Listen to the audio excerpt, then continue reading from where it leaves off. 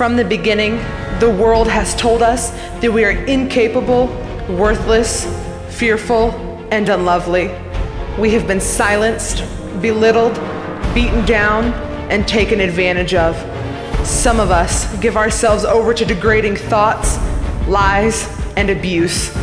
Others shut down, build walls, and give in. We have been captivated by lust, anger, gossip, and envy.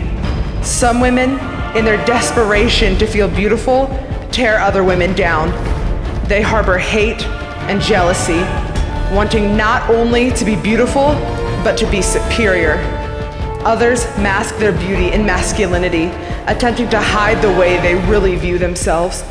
Some of us flirt, flaunt, and give ourselves away to prove that we are desirable and we do have value. Men have become our focus, the temporary cure for an eternal longing. They satisfy us for a moment, but in the end, we are left feeling empty and alone. Some of us are taunted with the idea that we are unloved. It manifests itself in loneliness, depression, seeking love from men, approval, and popularity from peers.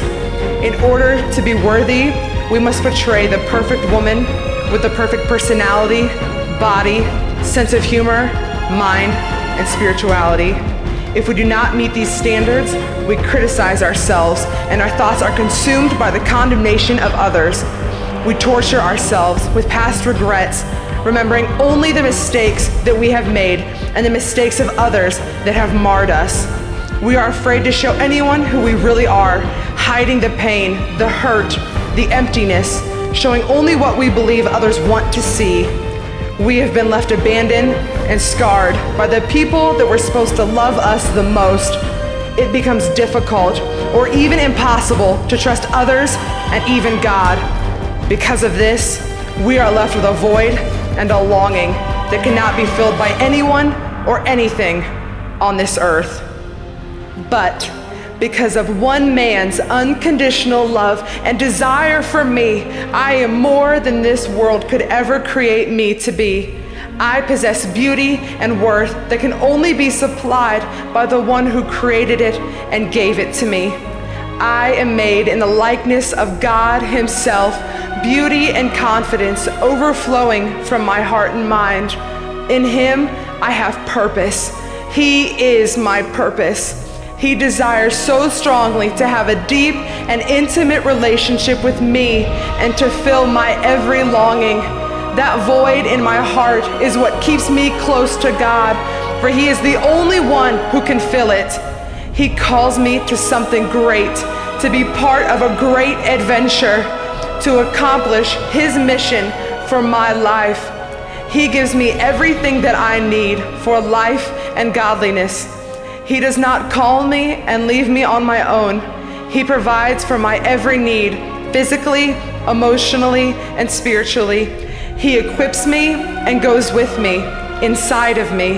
It is no longer I who live, but Christ lives in me. In Him and in His strength, I am capable of anything and everything He is calling me to do with boldness, confidence, fearlessness, and heart. In Him, I can walk boldly into the future to face whatever He has for me. In Him, my worth is far beyond anything this world could offer, and my value is unfathomable. In Him, I am confident in who He has made me to be and what good gifts He has given to me. In him, I am clothed in righteousness. I am a saint. It doesn't matter what the world says or throws at me, for my identity is found in Christ. It is not a game of comparisons. The way I look and my wiring is exactly who God designed me to be for a specific purpose and plan. I will not criticize what I look like or my personality, for it is God who designed me and gave me everything that I have. My beauty is not found in how people view me or how many compliments I gain. It is found in Christ who made me, loves me, and gave himself up for me. Even though I have been hurt, scarred, and torn apart, Jehovah Rapha, my healer, has picked me up, cleansed me, and loves me even still. Through all my past mistakes and future failings, God has forgiven me and will never condemn me. I am a daughter of the King and have been covered in his blood. From the beginning, God created woman to be his final touch, the perfect image of his compassion, love, wonder, and beauty.